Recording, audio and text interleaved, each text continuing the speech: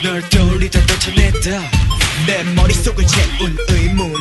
네가 원한 것이 뭔가?